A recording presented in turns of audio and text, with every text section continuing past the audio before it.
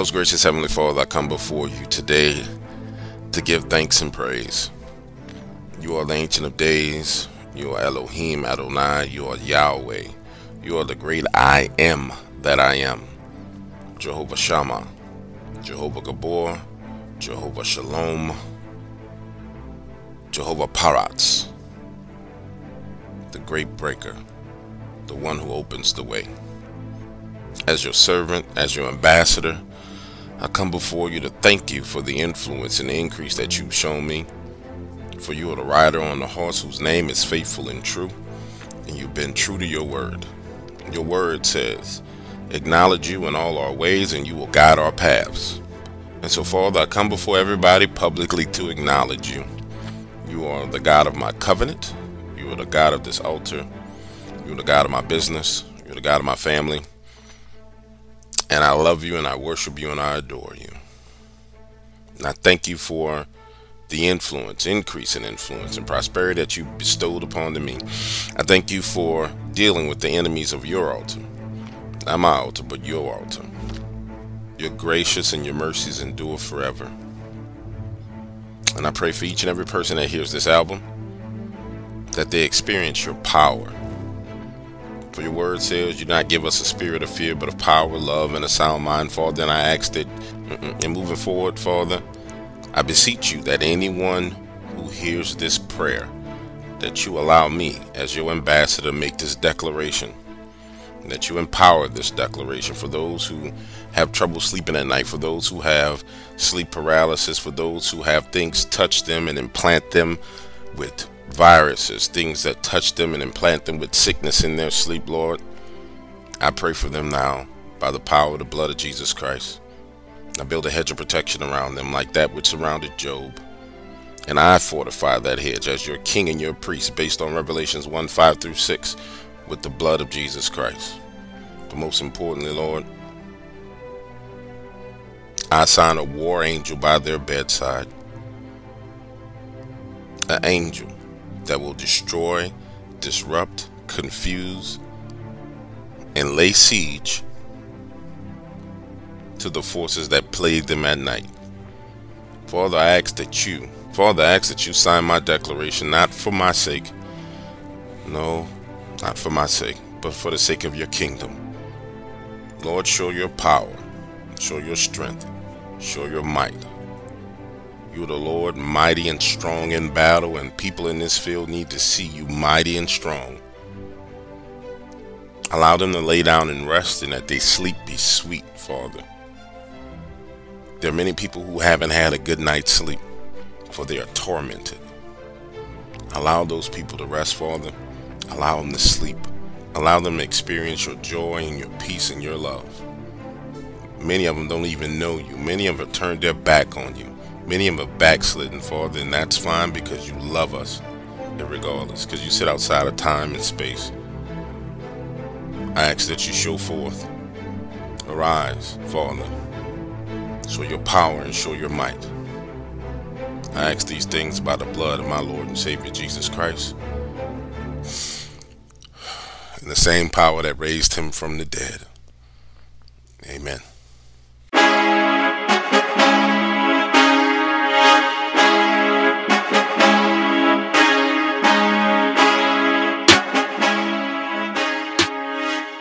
Now, if you're new to the Dark Water channel, what I'm about to say to you may not make a whole bunch of sense to you because you ain't been around for all this. So I'm talking to the people who've been here for a minute. You guys are going to understand why I named this album Ric Flair. But for you new people, let me bring you up to speed. You see, from the time we came into the paranormal field, it's been a lot like WWE wrestling. You know, people attacking people, acting a fool, lying, backstabbing just doing the most crazy, wild, insane, foolish, stupid things that you could ever see in your life. And you know, last year we took a year off. We tried to build dogman cams, get evidence in the field, try and make something for the whole entire community, right? We got some evidence. We really did. Had cameras in Florida, cameras in Virginia, cameras in Mississippi. Had all kind of stuff popping. But no, people didn't like that. They had to try and band up to try and destroy it. Take it upon themselves to do the community a favor and try and destroy things. People stole from us. And you know, I'm sitting back thinking about the whole situation. I said, man, you know, this really is like WWE wrestling. And if it's going to be like WWE wrestling, if we going to play by the rules that everybody else play by, if we going to do what everybody else do, then I'm going to be Ric Flair. And that's how this album became the Ric Flair album. So what does that mean? What does that mean for you as a listener? No, it don't mean that I'm gonna put out no fake content because that's not how I roll. It don't mean I'm about to run around picking fights with people. That's not what I do. I only finish the fights that are started with me. But what it means is, from an entertainment standpoint, I'm just gonna drop it all. I'm just gonna keep hammering over and over and over and over and over again. Because we got the goods. Unlike anybody else in this field, we have the goods. Welcome to the Ric Flair album. Ric Flair, Nature Boy Ric Flair, still the World Heavyweight Champion. But Ric, I'm sure this thing between you and Dusty Rhodes is certainly not over. Well, Bob, let me put it to you like this. You remember a couple of years ago, one of the biggest episodes of one of the biggest programs in the world was the night they shot J.R. Ewing. You remember that? Right. The whole world thought JR was dead. But you know what?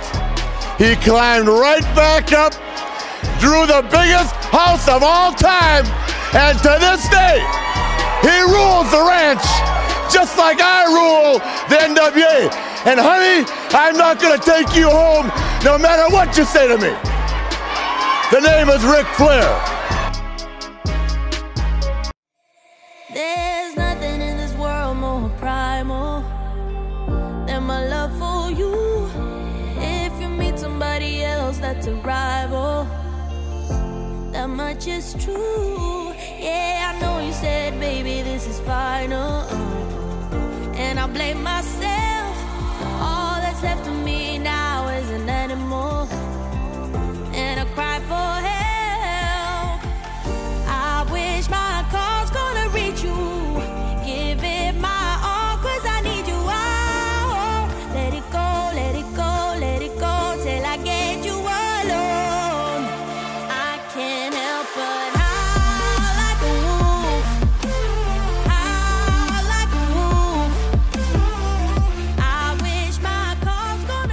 Listen, I wasn't sure if I really, really wanted to share my encounter, especially since now I know that there are people who want to silence men and women who share truth. But I decided to trust in God, not to fear man. And so I'm telling it to you. I've been working as an explosive expert for over 20 years, specifically at rock quarries.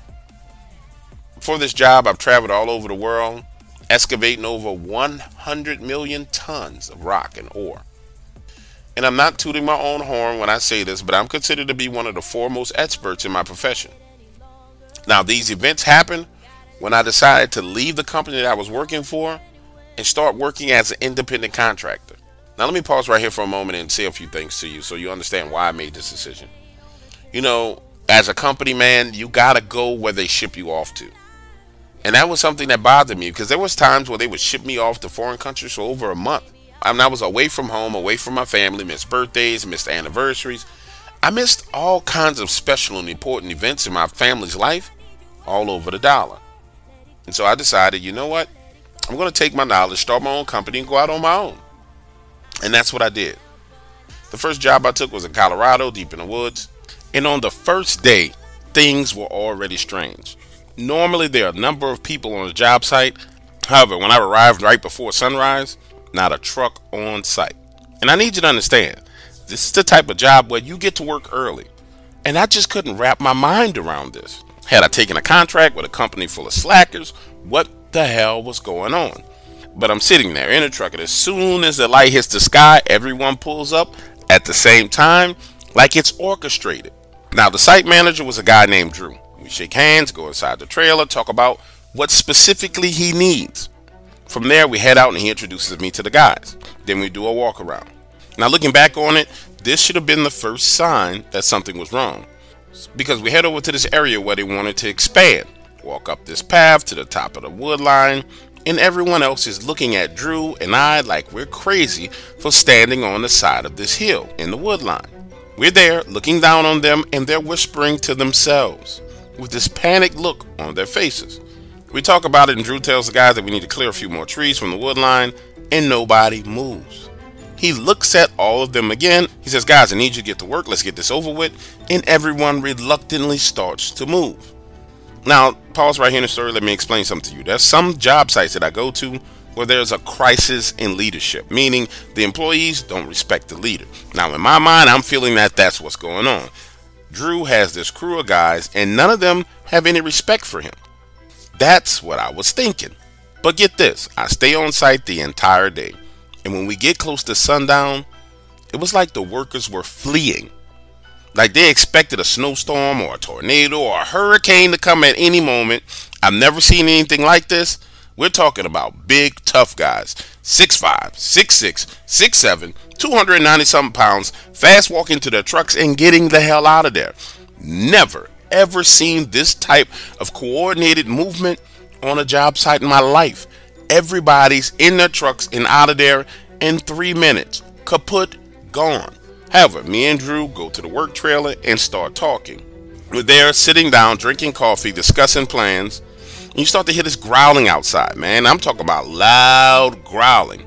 So I'm saying to him, Drew, yo, listen, what the hell is that? And to my surprise, Drew is sitting there acting like he doesn't have ears, like he doesn't hear the same crap that I'm hearing. He keeps talking and ignores it. But I'm like, nope, we're going to stop right here in this conversation. Hold up, dude. Are you telling me you don't hear that growling? What is that? That's when he looks up from the paperwork on his desk and says, Yes, I've been hearing it, but we have a job to do. The faster we do it, the faster it can get done, and the faster we can leave. So it don't matter what it is, we got to get this job done. Listen, that growling goes on for a solid five minutes, then it stops, and I got to give Drew credit. This dude has balls of steel because he just kept looking over the logs, filling out his records for the day. Nothing seemed to bother him. 30 minutes later, he says, Listen, we need to set those explosives in the morning. I'll meet you here at 6 a.m. And if there's anything you need, I'll help you with it. And then we leave. Fast forward a bit. It's 6 a.m. the next morning, sun not up. I get there, and he's outside standing next to his truck. As soon and I mean, as soon as I get out of my truck, I hear what sounds like something running on the gravel. And I'm not talking about like a fox or a coyote. This is something running heavy on two legs across the gravel. And again, Drew is standing there completely and totally unfazed. Now, stop right here for a moment. I want to share a little secret with you that I learned about Drew. Drew is fucking crazy, bro. He really, really is. Looking back on everything that happened, Drew is fucking crazy. Because we start walking in the direction of where I, and I know he heard this running across the gravel, and all we have is a flashlight. That's when he breaks down everything to me. He says, Look, he told me that this property butted up to the edge of some land that was owned by some Indians. Now, let me say this Drew didn't talk exactly that nicely about the Indians. He went on to call them savages who worship false gods. I mean, he really spazzed out. But he goes on to explain to me that when the company acquired the land, he never really considered that there was a problem with it. He just figured it was some cheap land. Then he goes on to explain to me that a company prior to his company had come in, bought the same land, tried to work the land, tried to run explosives, and things went terribly bad for them and they went bankrupt. Now, I need you to imagine the scene. We're walking along, he stops, shines the flashlight on his face. You know how you used to do when you were a kid at night playing with the flashlight? You shine it in your face and make yourself look spooky? Well, he stops, lifts that light, shines it in his own face, and says, Listen, there's something out here. I know it. I've seen it. I've heard it. But we have a job to do. And my family needs to be fed. And I need you to understand something. Me and this thing have a problem. And only one of us is going to win. And I'll be damned if I let whatever it is out here bankrupt me and my family. So we're going to just have to deal with this and get it over with. But it's going to come to a head one way or the other. Remember I told you earlier that Drew was crazy? You see, this was the moment where I really, really, really realized how crazy Drew was. Because the look of determination in his eyes went way further than just normal determination. Normal, I got something to do and I'm going to do it. This was a psychotic, psychopathic look in this man's eyes. He really meant everything he was saying. And as Drew is finishing that sentence, we hear that running on the gravel again just to the right of us. And so he turns and walks in that direction with me lagging behind him. Understand, I'm doing contract labor. I'm not about to get out in front of him chasing down whatever the hell he's chasing down. But I also realized right then and there in that moment that Drew was confronting whatever the hell it was moving around in this darkness. Now picture this, we're walking along and he's doing this kind of scanning back and forth with the flashlight. We're walking, he's going left and right 10 yards, then out 20 yards, then out 25 yards. We get around about 20 yards in front of us with that flashlight shining, and you see what looks like two gigantic, when I say gigantic, two freaking gigantic dog paws. And I'm talking about the size of my hand. He stops the light on those paws and then starts to shine it up. And sure enough, there is a giant black wolf standing right there looking at us. Now, let me ask you a question. Have you ever found yourself in a situation where you felt too embarrassed to be a coward? Like, you know, you you know you should run, you know you should flee, but man, I don't want to show this weakness in front of other men. I'll show this weakness in front of my friends. Listen, that's the kind of situation I was in, and I'm gonna keep it 100% with you. I was embarrassed, but not embarrassed enough not to start backing away from whatever the hell that thing was. And as that flashlight moved up its body, initially I'm thinking to myself, yo, I got to be hallucinating. This cannot be real. But then you see this chest and you see it breathing. You see the rib cage expanding with every breath. Now I'm 10 yards behind Drew. And he starts to walk closer to it, saying, Listen, I don't know what the hell your problem is, but we got work to do and I'm going to need you to leave. Now, pause right here and let me say something to you. If I was you sitting here listening to the story, I'd be like, yo, this is a load of hogwash. Like, who does that? But when I tell you this man was crazy, I need you to understand Drew was really freaking crazy. And as this story goes on, you're going to realize that I'm not lying to you. Drew had mental issues because he walks up to this thing and it starts to walk back from him, looking at him like it's confused. We're talking about a wolf standing on two legs, a giant wolf head, sharp pointy ears. And I'm telling you, they didn't look real happy about moving back away from him.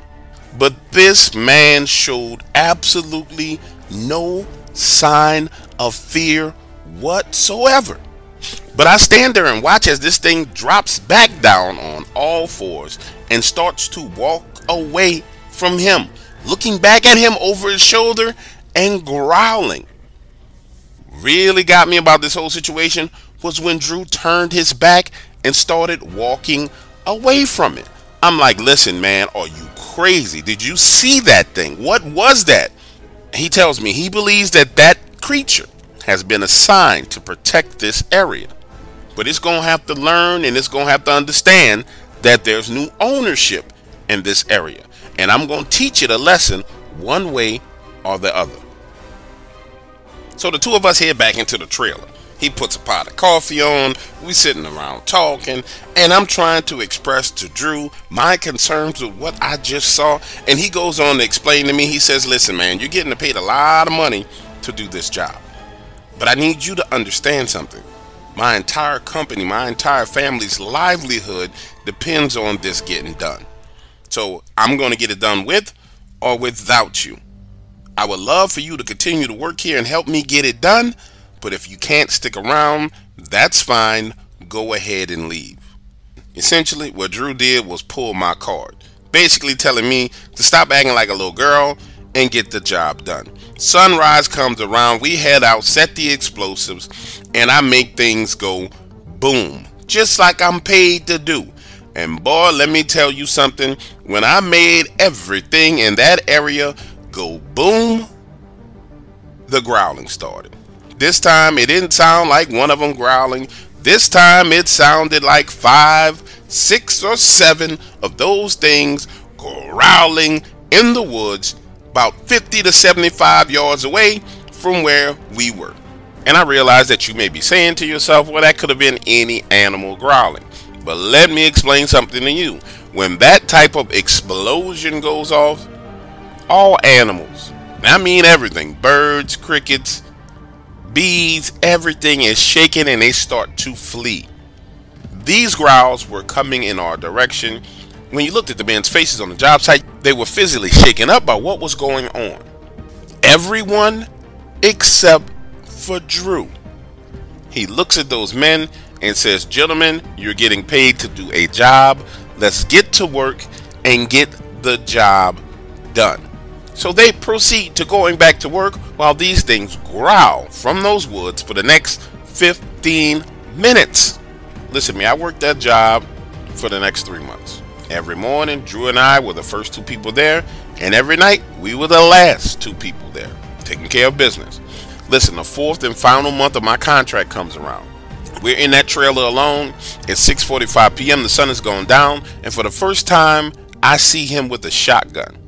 And this time, Drew was scared. And I mean scared out of his mind. He goes on to tell me this story about how earlier that morning he got there around 4 a.m. as opposed to 6 a.m. And as soon as he got out of the truck, those things surrounded him on every side, forced him to get back into the truck, and ran him off. I'm sitting there with a cup of coffee in my hand, and I asked Drew, Well, man, what do you plan to do about this? That's when Drew goes on to share with me that he hired a security team, and that this particular security team started tonight. Now, pause right here one more moment and let me explain something to you. When we talk about security team, Drew wasn't talking about like a guy with a fake police officer uniform with a flashlight.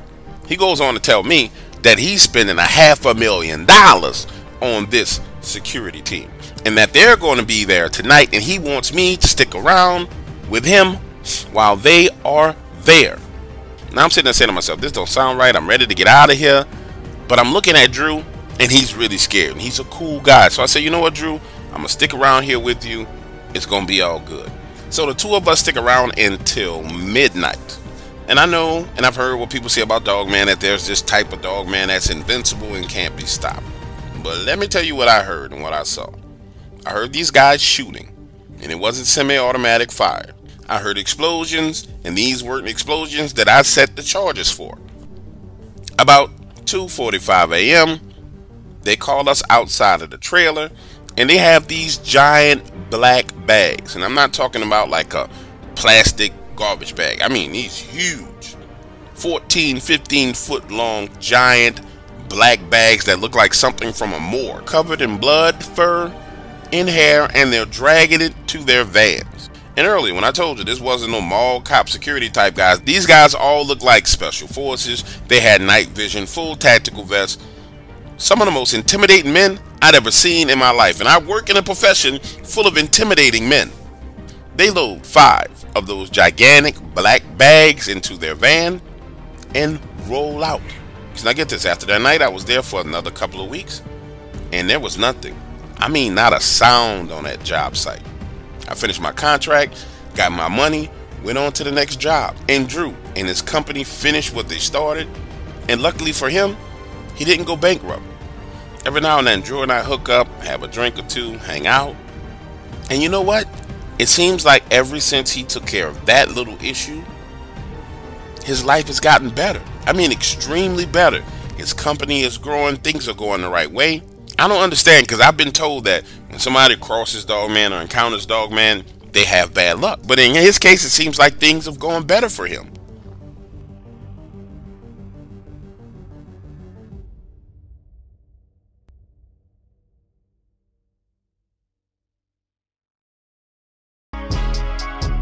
Now, Dusty Rhodes, as I said in Atlanta the other day, some of the glitter might be brushed off the edges.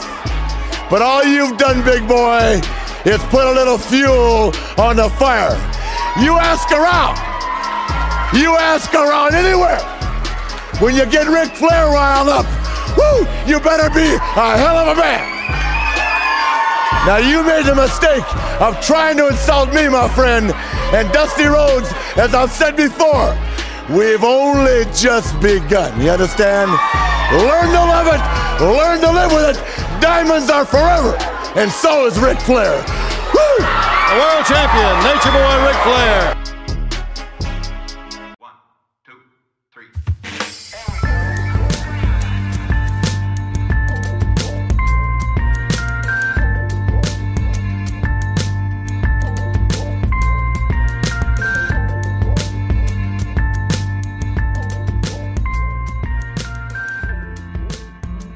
Ever since I was a child, I can remember seeing my guardian angel.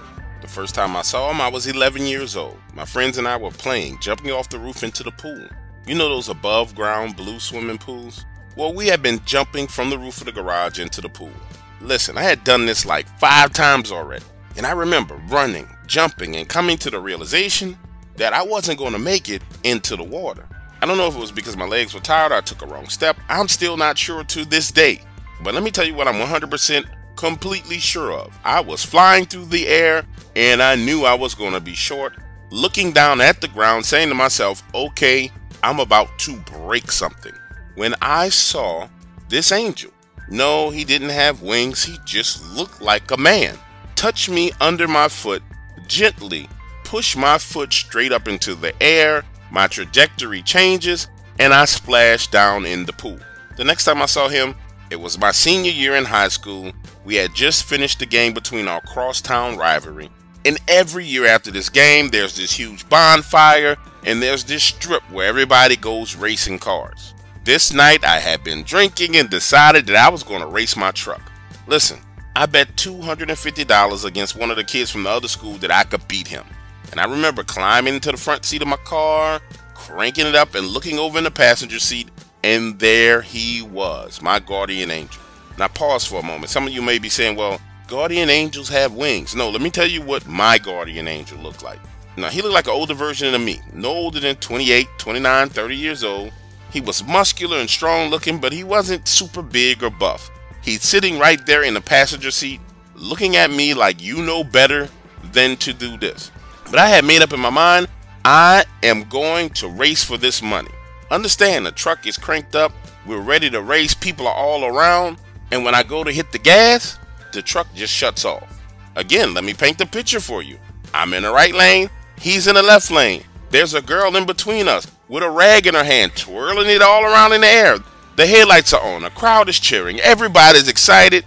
I hit the gas to take off, he takes off flying, and guess what? My truck goes nowhere.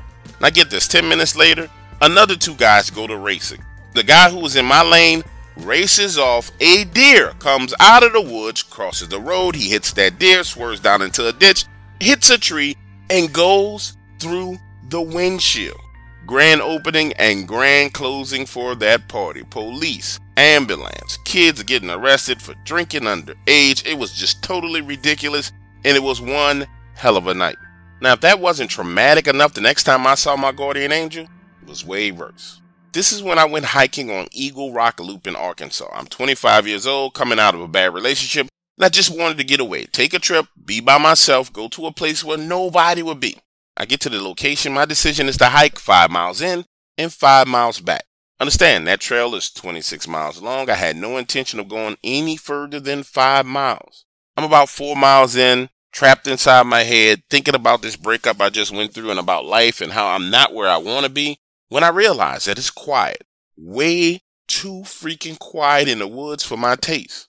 And that's when I see what looks like a big black dude walk across the trail up ahead of me. And I don't say that to be offensive. I just figured it was a tall black dude with like a furry coat on, out for a hike, and he crossed the trail because he was walking on two legs. At that moment in time, it didn't register me as a threat, so I just keep walking. But listen to this. I get right to about the area where I saw him, and I get this feeling that I need to stop. But I'm like, nah, you're being paranoid. Just keep going. We're going to get to the five miles. I take another 10 steps. One, two, three, four, five, six, seven, eight, nine, ten. I remember it clear as day. And I knew without a doubt in that moment what was going on. My guardian angel was there with his hand on my chest, holding me back because I felt a force physically stopping me from moving. However, what he did next was unlike anything I've ever encountered. Now, pause right here for a moment in the story. Let me explain a little bit more to you. I knew without a doubt that this was my guardian angel, and I'll tell you how I know. Because I turn around to go in the opposite direction. Because I'm afraid, frankly. when I turn and take a few steps, I hear what sounds like someone took a boulder and threw it through a bunch of tree limbs. Turning, looking back over my shoulder, it's what everyone describes as a dog man, except for this thing is blackish gray, and it has this head of what looks like a freaking hyena. It's suspended in midair, arms spread wide, claws pointed in my direction, and I see my guardian angel standing there holding this thing by the neck, suspended in midair. And this look of concern comes across his face, and I know deep down inside, I need to run and put some distance between it and me. And so that's what I do. I take off running down that trail as fast as I can. And as I run away, I hear what sounds like World War II going on tree limbs snapping, trees falling over, some of the most frightful growling noises I've ever heard. Imagine for a moment you're running through the woods all alone and you know what you just experienced, what you just saw was 100% real. There's no hallucination. You can smell it, you can feel it. That's what was going on with me. I ran for a solid 400 yards until I was out of breath. I remember the fatigue setting in, breathing heavy, bending over at the waist, saying to myself, there's no way I'm going to be able to run all the way back to my vehicle. Taking a deep breath, standing back up, and starting to run again. This goes on for another 100 yards. And then I feel that pressure on my chest. The same pressure I felt on my chest before that thing jumped out of the trees, I felt it again. But this time I felt this peace, and I knew I didn't have to run anymore. I just felt like whatever it was, whatever happened, it was over. And it was right there in that moment that all the panic, all the adrenaline, everything drained out of me. And I felt refreshed. I stopped breathing heavy, stopped sweating. I mean, it was almost as if nothing happened. And I know if you listen to the story, you're saying to myself, this makes no sense. This guy's laughing. Some people may say, I don't believe in angels. Some people may say it was an alien. Listen, all I can tell you is this this is what happened to me. I wasn't afraid. And so I walked the rest of the way back to my vehicle, got in, and went home.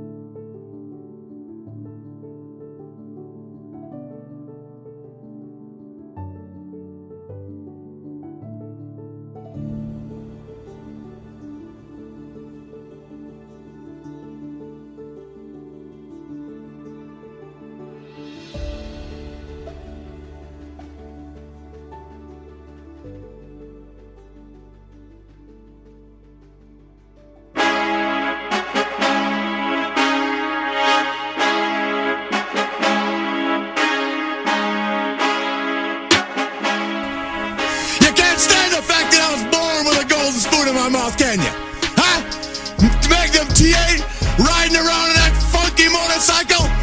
Why don't you get a Mercedes Benz and be a real man? Huh? Manny Fernandez, Buzz Sawyer, Jimmy Valiant, y'all playing catch up ball to the nature boy.